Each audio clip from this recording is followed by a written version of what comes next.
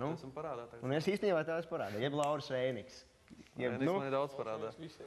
Un īstenībā tā sistēma ir, bet kā tu to savādāk izdarīsi? It sevišķi šobrīd, ja ir doma, par ko varbūt jūs zinat, ka ai, mēs roku vienkārši legalizēt to visu nelegālo putru, visus torentus legalizēt, proti internetu provideriem, kas mums ir bez sava gala, ar, ar, ar likumiem, vienalga normatīvajiem aktiem.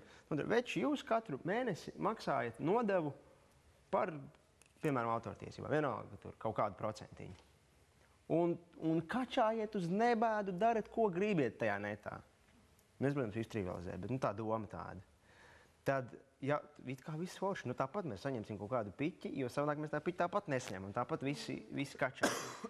bet uh, es jau, ja es torrentos kaut ko kačāju, es jau nesūtīšu, veči tā, es nokačāju tagad tur abu, pēc tam es tur Raimondu Paulu. Nu, un, un, un, un līdz ar to ja tava dziesma nav absolūtais hits, tad, tad to, ja arī viņu nokačā, tad tu to piķīt nedabūsi. Jo neviens nezinās, ka tava dziesma ir vispār no, nu, lejuplādēta. Uh, nu, re, ir kādam vēl kādi jautājumi par šito, jeb sāpi uz sirds? Cik dziesmas es sarakstīju? Nu, man divas skan šobrīd. Un pie tam es ar Galīnu kopā vēl par oranžijām. Tā par tām viņa dziesmām, kur es oranžējis esmu tur, nekas man nav ienācis. Tā kā būtībā kāds pamatīgi, pamatīgi vēl nāsīs iekšā. Nopietni, tagad uz sarakstu, teiksim, mūziku un vārdus, no, teiksim, viss ir uz tevi. Ja tu tas vēl izvēlās tur uz grupu, nu, Es nezinu, es ar grupu ir tā. Nāk, nav tik un tā. Nu. Es jau zvanīju pirms kāda mēneša. Viņa teica, ka jā, jā, mēs jums iesūtīsim parīt. Pirms mēneša, vēl pirms mēneša zvanīju, pēc nedēļas būs nauda. Nu, šitā visu laiku čakarējās kaut ko. Jā, mēs aprēķināsim, ieskaitīsim. Un kaut kā bišķi čakarējās, tas nav forši. Es domāju, ka daudzas jaunas mākslinieces tā čakarē. Vienkārši nu, viņi, domāju, viņi vienīgie Latvijā, kas laikam pārstāv tos autors. protams, ka tie mākslinieki ir šausmīgi. Nu, autoru līgumi ir nenormāli daudz. Piemēram, īstenībā man ienāca pirms divām stundām kaut kāda nauda. Forši, varbūt man ienāks, es nezinu, vienkārši nezinu to. Varbūt atkal par tavām dziesmām, ne? Vai ne? Varbūt atkal. Nē, tu jau aliņš, aliņš. Jau, Jo, jo, jau. jo, jo, jo akni to jau jums ir atšķirstās, ka vairākas reizes gadā pārskaita, kā viņiem ienāk no, at- piemēram, no rāģiņiem vai no televīzijām, no kā tad viņi to saskaita laipu, to izdara vienreiz, tad uzreiz tāds smuks cipars. Šodien man atnāca 40 lati, par ko es nezinu. Nu, kaut kas, nezinu, vai no ārzemēm, vai no kā viņi saņēmuši to naudu, viņi sadalījuši, par ko nezinu. Nu, tā katru mēnesi kaut kas tur citreiz vairāk, citreiz mazāk. Uh, kurš no jums ir Dorēmī kaut ko pircis? Es esmu kaut ko skačājis. Pat kaut kādiem 95 centīmiem, ja nemaldos, tā bija Oskara Mustermaņa dziesma lejā. Cik, cik tas liekas dārgi tev par vienu dziesmu? Es nezinu, aizsūties SMS, un man norāda 95 centīmi. Nu, tu biji apmierināta? Jā, es domāju, to dziesmu, jo es viņu gribēju, un nekur internetā viņu nevarēju dabūt. 95 centīmus. Šausmīgi daudz, vai ne? Tas ir daudz. jā. Pa vienu nabaga MP3 failu. Liekas, ka Dorēmī savāds baigo piķi, vai Bet ne? teicu, tas iemācīsies kā no YouTube to pašu dziesmu, var vienkārši nolādēt ar citu YouTube, programmu, to filšu net vai arī video MP3 net, un viss kārtībā. Un, un riskēt, ka tu vairs nekad nevarēsi būt par valsts prezidentu, ja- tev pajautās, vai tu esi kādreiz nelegāli ko darījis, tev būs jāsaka, jā. Es esmu samelots. pateikt, nē. Tā ir viss prezidents dara, vai ne? Nu, jā. Arī tagadēji. Runājot par internetu veikaliem, kuriem arī es šobrīd uh, es esmu ļoti pārliecināts, ka es drīz arī pie jums atsevišķi iešu vismaz pēc, pēc, pēc okārtas, ja jūs būsiet jau kaut ko tādu vērā ņemam izdevuši un cilvēkiem patiks. Un ir, ir, ir jāsaprot, ka lai arī tas digitālais laikmets, tie MP3 viss baigi forši šķiet, ir pietiekami daudz iesaistītas personas, starpnieki, kas tāpat atsmeļ to naudiņu. Un, eh, un it sevišķi par SMS maksājumiem. Eh, Nu, labi, varbūt tas jums kā mūziķiem nav jāzina, bet tas nu, tīri, tīri intereses, intereses pēc. Uh, vidēji 50% no tās summas aiziet tikai par SMS apkalpošanu. Reķini. Tāpēc arī tie 90 centīmi, jo, jo lētāk nevar uztaisīt, jo tad vispār nekas nepaliek. Jo tad vēl ir tāpat jāsēdz autortiesības, jāsamaksā elektrība un tā, un tā tālāk. Uh, Tajā brīdī, kad tiek vienkārši izdots disks, atkal liekas, bišķi vieglāk vēl saražot to disku, aizbrauc uz statuēliem, iedod katram. Jā, un, un, un, un mieras. Bet, uh, nu jā, tik vienkārši tas nav. Bet uh, vēl kādi jautājumi par dzīvi? Kā jums patika Mielaus? Man patīk. Smieklīgs. Es pat noskatījos atkārtojumu tikai Mielau dēļ. Viņš bija mīlīgs. Mm, labi sadzīmts. Rēniks vienam bija tik mīļš. Rēnīgs bija vienkārši unikāls. nepārspējams. Rēnīgs bija tik foršs un tik mīļš. Par internetu digitālām uh, lejuplādēm turpināt. Kā jums šķiet? Cik nu, mums vidēji ar, ar Lauru pagājušajā gadā bija, bija, bija vienādi?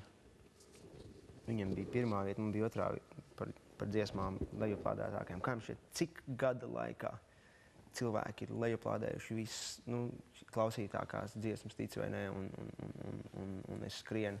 Legāli? Jā, jā, jā. Nu, ka viņas ir. Nu, nu saka skaļāk, lai. Simts kaut kur. Tūkstots, kurš saka vairāk? 50 reizes. 50 reizes. Tu saki 12 tūkstoši. Kurš vēl saka? Dod, dod, dod. Simtos. 100 reizes. Nē, simtos, es domāju. Nu, nav vairāk par simts reizēm. Nu, kaut kur tā, nezinu, Nu, es līdz saku tūkstotim. simts Līdz tūkstotim. Jā. Tā dziesma, kā skrienu, skrienu.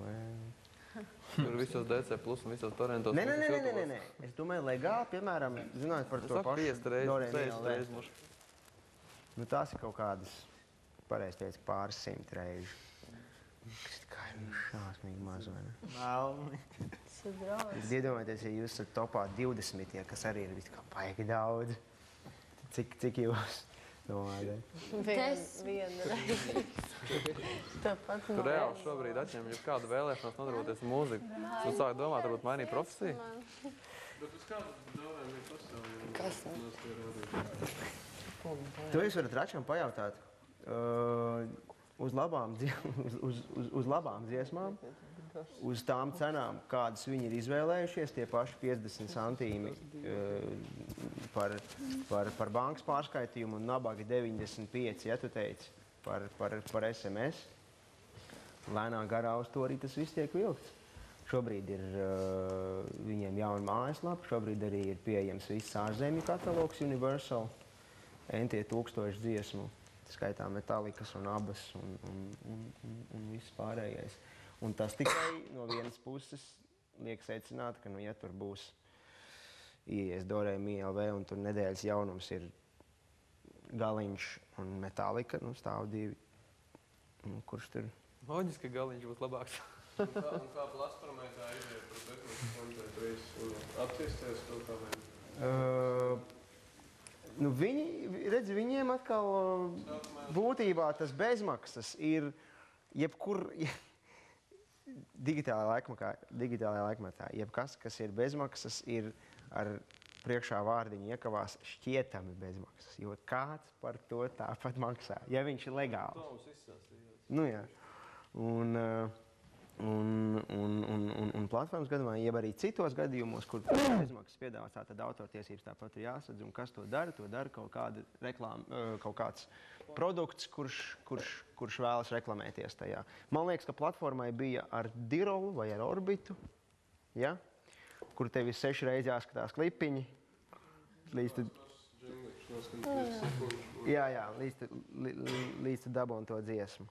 Uh, autortiesības no tā arī tiek samaksātas, bet it kā tu dabūni to gabalu par brīvu. Tā kā tā. Kā tas strādā šobrīd vēl vai nē? Es zinu, sākumā tas. Ir uh, lielākā bēda jau ir, par ko noteikti jums jau ir stāstījis, ir tas, ka nu, cik latviski runājoši cilvēki ir, nu, cilvēki, kas klausās latviešu mūziku, kas ir spējīgi klausīties. Nu, cik, nu, man liekas, ka nepiln, pat nav pusotras miljonas. Nu, kaut kā tā. Un, un lai tu piedabūtu kādam nenormāli foršam uzņēmumam, vecīt, iedomam, pīķi, es tev visu laiku reklamēšu, un manā mājaslapā ienāks tieši 29 cilvēki pa dienu. Nu, tā jau tā lielākā bēda. Protams, labi, tur ir 29,000, bet tāpat tas ir mazāk nekā, nekā, nekā citās valstīs. Tāpēc tā bezmaksa, nu, nu, tur ir jābūt tiešām ļoti labam uh, reklāmas dīlam, ir, lai, tas, lai, lai, lai, lai tas bezmaksas aiziet. Bet nu, atkal, tad, tad jau ir tomēr jāierēķinās ar to, ka cilvēks pie tā pierod. ah, nu, ja jau bezmaksas, nākamajā dienā ieiet, akcija beigusies, ir nu, kādi 50 centīmi. Nu. Piemēram, Vēnspīlī salīdzinoši maz notiek koncertu nekā citās, nekā citās pilsētās. Vēnspīlī ir pilsētas svētki, Vēnspīlī visi cilvēki pieraduši iet pa brīvu skatīties. Nu, kā? Tad puķu svētki, tad tādi svētki, tad, tad tādi. Un, un, un tur koncerts izpārdot ir, ir grūtāk nekā citās, nekā citās pilsētās, jo cilvēki pieraduši, ka nu, viņš kā maksāt. Un, un interneta laikmets uz to iet, ka tas viss it kā ir šķietami bez maksas, bet kāds par to vienmēr samaksā. Un, ja arī nesamaksā, tad beigās par to samaksā autors neko nesaņemot. Tādējādi viņš, viņš samaksā.